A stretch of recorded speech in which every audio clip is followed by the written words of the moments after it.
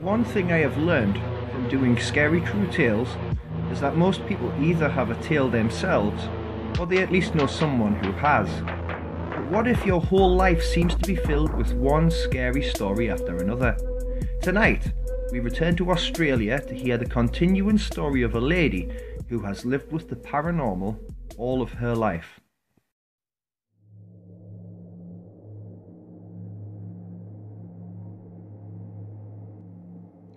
So I mentioned that when I was in my teens, I decided that I did not want the paranormal in my life anymore. I made this decision when I was 15 and was in my first long term relationship. The guy was into heavy metal, real heavy stuff like Pantera, Metallica, Sabbath, and Iron Maiden. He used to talk about the devil and play his records backwards to show how certain ones had subliminal messages on them. With me seeing spirits every now and then, I started to freak out big time. I was on the train one day with my friend around this time. We were heading back to my place and through what is called the City Loop round here. It's all underground through the city of Melbourne, and I was talking to my friend. It was pitch black out the window, so it meant you could see the reflection of everyone in the cab. As I looked at her reflection, I saw there was an old man sitting right next to her. I turned away from the window and looked at her and saw he was not there. I asked her if she had seen him, but she said she hadn't. I was starting to get down at this stage of my life, thinking I was weird or I was mentally ill or something. So I started to tell myself that none of this was real and just a figment of my imagination. A few weeks later, I was on a camping trip with a group I was involved in. Another girl in our troop helped me to set up our tent underneath a tree. Later that night, it rained hard, We both jumped into our sleeping bags around 10 pm, and we were talking as girls do, listening to the rain hit the sides of our tent. The tent had a waterproof bottom, so we thought it would be okay for the night. We were talking still when I heard a male voice say, Get out of the tent! I didn't mention that I had heard the voice, but I said to the other girl that I didn't feel right about being in the tent using the rain as an excuse for us to leave and find another tent to sleep in. Our group leader came over to us and gave us a big speech about the late time and asked us why we were out of our tent. She marched us back over, and as we bent over to get into the bottom of the tent, there was nothing but water. Our sleeping bags and clothes were now all wet, and the leader saw this so helped us to find another place for the night. Needless to say, it was all good in the morning, and we packed up and went home that Sunday afternoon but it was only two weekends later when we heard that two young boys had been killed at the very same camping spot. A tree fell on their tent through the night, killing them instantly. It was all over the news. The girl I shared the tent with rang up and asked if I had seen the news, to which I said yes, and at our troop meeting, was all we talked about. It was because the exact place where the two boys were was exactly where we set the tent up two weekends before. This was all getting too much for me to deal with, and I kept saying to myself, I don't want to know anymore. Whenever I saw or heard anything, I just kept thinking that it was my imagination. I could almost feel my third eye closing, like it was shutting down inside my mind. It worked. For a while at least. When I was 17, I decided to move into a house with my friend. She had a small baby at the time, I had always stayed with my friends and my boyfriend, so this was all new to me to pay rent and bills on my very own place that I could call home. The very first night I moved in, I started to hear things. A running sound would begin at 10 pm every night thump, thump, thump from the front door, down the hallway, and all the way to the back door. The first time it happened, we just stood frozen, looking at each other, thinking, fuck? That first week, it got to the point where we just stopped what we were doing and just waited for it to start. We would sit down on the couch together as it felt safer that way.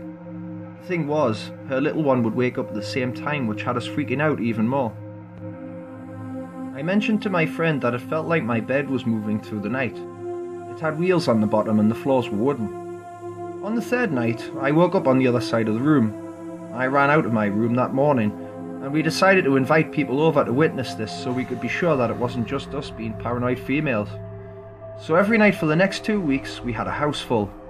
Everyone heard it and would talk about the running noise, trying to figure out what it might be or what we could do about it.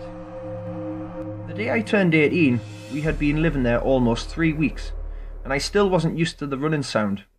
It still freaked me out to the point of tears every night. My housemate Carista was shaking with nerves and trying to settle her baby Alicia. There were three others in the house too that night, all talking about our problem. I had decided to go to bed at 11 pm as I had to be up early the next day.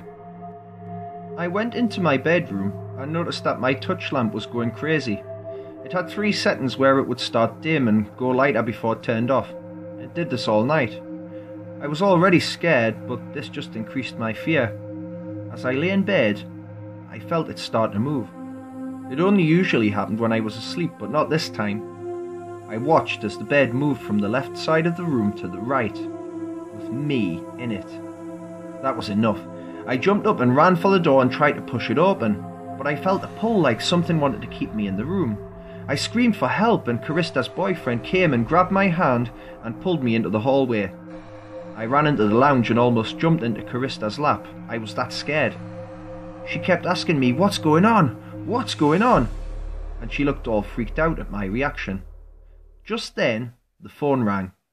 It was screwed to the wall just outside the lounge room archway. Carista got up and answered it, and all I can remember is that she screamed and threw the phone down. She then ran to pick up the baby and came back, looked at me and said, Let's go. I don't know what happened on the phone, and I didn't ask, but we got the hell out of there. We refused to go back in for our stuff, so our boyfriends went back the next day and packed it all up for us. We never returned to the house, but we did go and see the landlord together. I really didn't know what we should tell him, so we just said that we couldn't live there anymore. His reply was, You two are the third lot of tenants to move out within three weeks. Can I ask honestly why that is? I told him it was most likely very haunted due to the experiences we had. He was very good about us moving out so suddenly, he said he might as well have it demolished. He did so just a few months afterwards.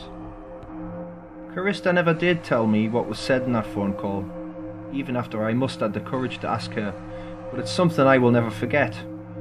A few years later, I went to see a clairvoyant. She said that all I had to do to stop seeing or hearing things is to state your intent that you don't want to, and that's exactly what I did.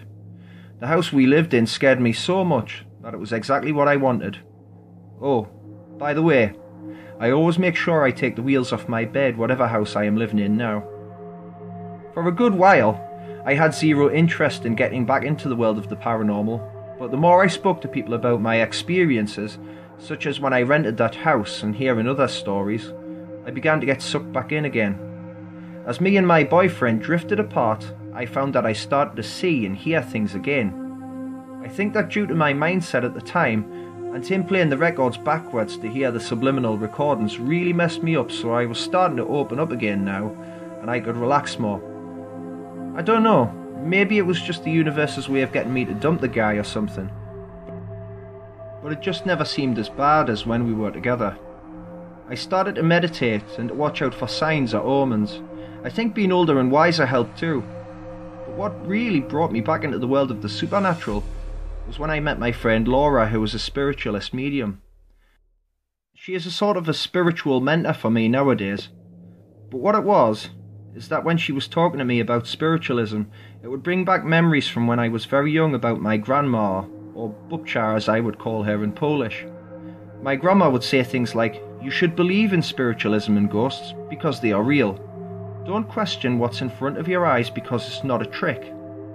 I would be sitting with Laura and memories would come flooding back just like that. It's funny how you forget what you learn as you grow older. In the year 2002, my grandma was sick. She had early onset Alzheimer's and must have had it for a long time by the time it was diagnosed. She kept having mini strokes, and we were told she wouldn't have much longer left outside of a care home. I decided I wanted to see my grandma before she came worse, so I flew out to Tasmania where she lived with my pops to spend some time with her. I had a better relationship with my grandparents than my parents, and I didn't want to have the guilt of not seeing her one last time for the rest of my life. One day, when I was there, I was at the sink washing up and listening to Grandma nattering on. I had to really listen, because she would get confused and switch languages. She would be talking English, then lapse into Polish in the next sentence. So I'm just listening and trying to keep up with the language changes when I notice someone or something standing in the garden under a small tree. It's semi transparent and it looks like it could be a woman of some description. I'm mentally telling myself it's not real when my grandma says my name. She hadn't called me by my real name in a while. She would usually call me by my aunt's name and think I was her at a younger age. She says, Sweetheart, did you see my mother out there? She is waiting for me to come to her. She is coming to take me home. Can you see her? I know what I thought I had seen, but I shook my head and said I hadn't. I told her she shouldn't talk like that because she wasn't going anywhere anytime soon. She just looked at me and said, It won't be long now. She then instantly seemed to go back into her confused state, speaking half English, half Polish. It wasn't long after that when she took a rapid turn for the worse and went downhill before passing away in her sleep at home. I was so upset for my own selfish reasons that I didn't want her to die, but the thought of her mother waiting for her and that she wasn't afraid to die because of it gave me great comfort. So nowadays, I live in this house in Queensland.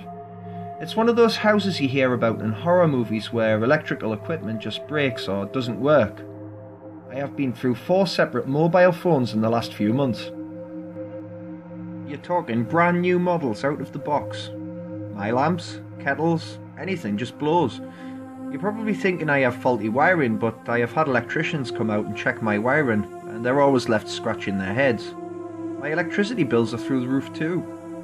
It's not even like we have aircon or a heater, which makes it even more difficult to understand. I have trouble taking pictures a lot of the time, I tried to take one of the kids riding their bikes in the yard, but every time it came out blurred like I was shaking it round or something. I hate this house if I'm honest. It's hard to get a full night's sleep here. Me and my two children have heard whispering coming from empty rooms. My kids often hear people talking to them when there's no one there, and sometimes get poked or prodded by invisible hands. One night I heard what sounded like a chair rocking to and fro in the hallway. I started to hear noises coming from the bathroom, and I asked Laura about this. She said that she felt that there was the spirit of an old man trapped here, probably an Aborigine. This would make sense as my house is built on old Aboriginal bushland. She taught me how to help spirits cross over and said I should do this next time I hear a noise coming out of there. I did just that, but it took two attempts before the noises stopped coming from the bathroom. But I filmed the first attempt. On the video, it appears that there is an old man standing in front of the mirror, and as I am carrying out the ritual, it affects my camera and you can see it on the video. Have a look and see what you think.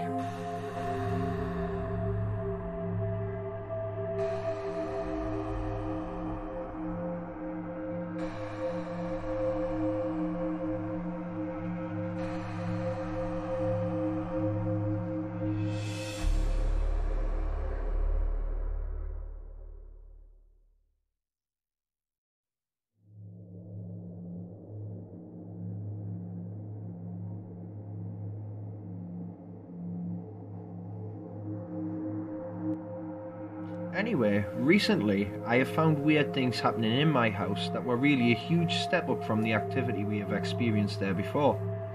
There's always been little things happening here, but nothing like this. Things were being moved around, my fridge door was left open, and books would be thrown all over the floor. Now, I've had so much experience in the paranormal that I knew something was just so wrong with this. Sure, it can increase over time, but this was ridiculous. I began to have my suspicions, and thanks to one of my neighbours, I learned that my ex and his mate have been breaking into my house. He always used to make fun of me to his friends about my history with ghosts and ghouls. He was always explaining stuff away that happened when he was around. I think that when he was breaking in, him and his mate would even use the shower, as it was often wet when I got home. I decided it would be a good idea to try and catch him out. I put some bleaching hot pink hair dye into the shampoo and conditioner. So later that day, I pulled up into my driveway, and as I got out, I heard a male voice shout, Bitch! I went to the bathroom, and sure enough, the floor of my shower was all pink.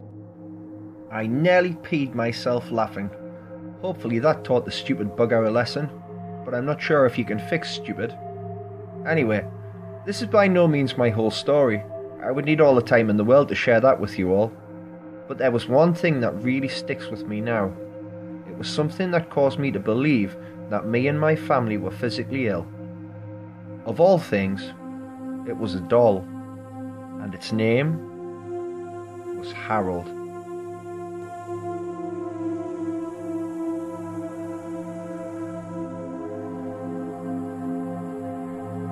My story takes place at the Erlanger Hospital in Chattanooga, Tennessee. Ever since I was born, I had problems. I was born sick, and ever since then I would be going back and forth from my home to the hospital.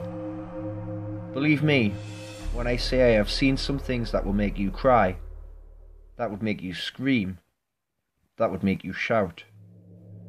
Every time I got sick, I went to the emergency room in Chattanooga. Mind you, this was at a time before they gave you your own room in the emergency ward. So at the time, I would have to share the room with another patient, and I remember this one poor boy who shared the room with me in the opposite bed. He was in a terrible accident and had been brought in after me. He had a broken collarbone, two broken ribs, and his legs were shattered beyond belief. I still remember that night just like it was yesterday, the screams of pain and agony that came from him they tried everything to sedate him, but nothing seemed to work. After hours of screaming and pain, it just stopped. The only sound left was the machine monitor in his heart making a constant beep sound. It meant only one thing his heart had stopped. That same night, I was committed into the hospital for surgery. As they took me up to my room, I thought about that poor kid. Even to this day, I think about him but that's not the weird part. When they brought me to my room, I noticed there was barely anybody on the floor. It was quiet. So quiet you could hear a pin drop. As I got settled into my room, I found out why my floor of the hospital was so quiet. The nurses told me that all the rooms were booked in, and this was the only room, as the other rooms were being developed. She told me why it was so deathly quiet there. I happened to share the same floor with the morgue, Yes, the same place where they store the bodies. This did not bother me too much though, because at the time my parents were morticians and had a funeral home. The nurses and doctors came to check on me and gave me something for the pain so I could sleep. I was just drifting off to sleep when I heard footsteps muffled but very loud. I got up from my bed and went to see who it was, and I noticed a small child and a young woman. The child was no older than two years old, and the young woman looked to be in her late twenties or early thirties. As I watched them, they were walking towards the morgue. I didn't see anything of it. Maybe they were going to visit one of their loved ones one last time before they send them to the funeral home. I noticed the looks on their faces. Normally, the look on someone's face when they walk into a place as such will be a look of sadness, but this was more of a look of despair. As they finally went in, I waited and watched the door to see if they would come back out. I waited hour upon hour. Eventually, though, I passed out, and the next morning the doctor came in to check on me to see if everything was alright. As the doctor was talking to me, telling me how to take better care of myself, I asked him a question. I said, Excuse me, doctor, but who were those people that were on the floor last night? And the doctor looked at me, and then at the nurse, and the nurse looked at the doctor and he said, Son, there were nobody on this floor except for you. He said, Could be you were seeing things. Well, I shook my head in disbelief and said to myself it had to be real. I saw them. I saw them. It wasn't until later that they brought in the newspaper for me to read. And as I was flipping through the paper, I was looking through the columns, and what I saw made there was a hit and run the night before, and two people had died instantly. I rubbed my eyes to make sure I was not seeing what I saw. The two people who died that night were a young woman and her child. The same woman and child I saw walking into the morgue. Hello everyone, it's the Batman here, and I'm just taking a really deep breath after that. There was just so much in it, and I felt really wrapped up in it all. But anyway, I hope you enjoyed it, and if you did, please remember to subscribe for more. If you like this show, you will probably enjoy my other show called Uncle Creepy Tells Your Tales. Next week, Uncle Creepy will be bringing you a Halloween Gore Fest. Also, keep an eye out for the Star Bible narration. The Star Bible is a work in progress by a science fiction writer called Megan Creech, and we are doing the first three chapters as a teaser. If, if you do enjoy the first two chapters, then keep an eye on your inboxes because we will be in touch with you soon. Thank you everyone for watching. I'm Creepy Battenberg saying good night and sweet dreams.